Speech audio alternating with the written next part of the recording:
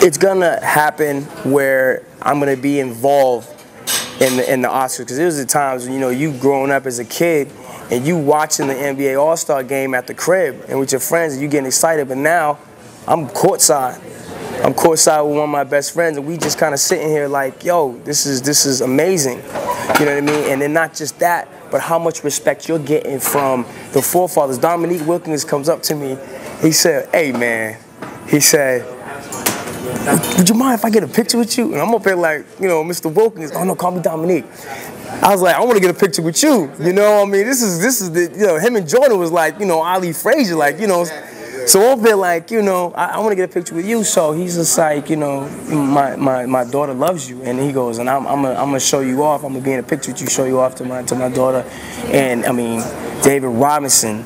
Um, uh, and then in, in, a lot of current uh, basketball players in the NBA is just like, yo, you the man. And, and I think it's just, you know, that hard work to be in that position and then it's like going back to what you asked me before about Ray Donovan. It's just like working with, you know, Oscar uh, award nominees and winners to be acting opposite them. I mean, that's incentive for me. Like I'm on that, I'm on that Michael Jordan-ish, man. Like that makes that motivates me to like, you know, make sure that when I'm going in a scene with them, I'm coming like, you know, bo- unloading both barrels on them. Like, let's go. You know what I mean? And so I wasn't able to hear or really know what was going on with the Oscars because the uh, the All Star game it was it was it was uh, it was serious, right. especially after D Wade hit Kobe in the nose. It got a little serious. got a little serious. Friendships with any NBA players? Oh yeah, oh yeah, like Chris Paul, um, Dwight. All day, all day. Um, Dwight Howard.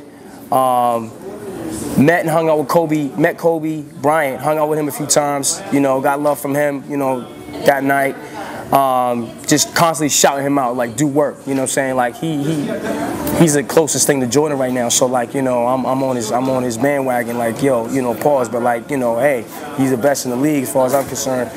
I mean, LeBron is a monster, you know. But if y'all watch the 2012 All-Star game, LeBron, baby, come on, you know shoot the shoot the shot. You know, you want to be you want to be. Yo, I'm not sitting there saying, hey, you know, uh, Denzel. You know, if you give me an opportunity to improv, I'm not gonna be like, nah, nah, nah. You gotta take it. You give me an opportunity to improv, I'm going. I'm like, let's go. So, um, and I think that's how you you solidify yourself as as being one of the best and someone that like, yo, he's he's a go-to guy.